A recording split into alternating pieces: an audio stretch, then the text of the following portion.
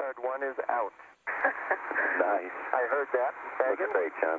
Nice job. Astronauts outside Atlantis went to work on a broken camera on the Hubble Space Telescope, which was never meant to be fixed in space. It's sort of like the NASCAR, you know, changing the tire. It's, it's rather amazing. And you saw John do that today with the fastener capture plate on ACS, and he had 30 some odd screws to take out, and it went really fast. We didn't have the clock on it, but it just seemed to go really smoothly. Removing the screws and circuit boards was supposed to be the most difficult part of the mission, but years of training paid off.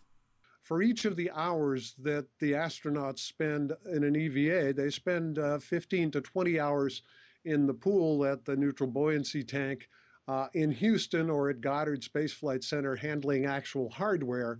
In this pool, Spaceflight Now's Miles O'Brien is the only reporter to swim in the astronaut training pool in Houston, also called the Neutral Buoyancy Lab, or NBL. He joined John Grunsfeld during a Hubble mission practice session. give us a sense of how valuable this training is. We're going to go out into space in a vacuum in an environment that is totally different than anything on planet Earth. Here at the NBL, neutrally buoyant in the water is the closest we can come to being in space. So this is our most valuable training.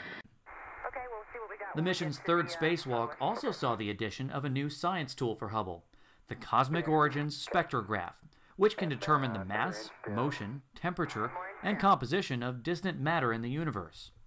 Uh, when I walked out the door, uh, I did a Tiger Woods uh, fist pump uh, at the conclusion uh, of, of the COS installation and aliveness test.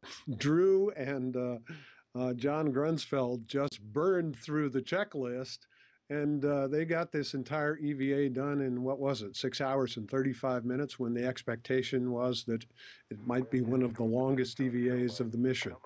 NASA's goal is to extend Hubble's life by five years and have six fully functioning instruments on the telescope for the first time. David Waters, spaceflightnow.com.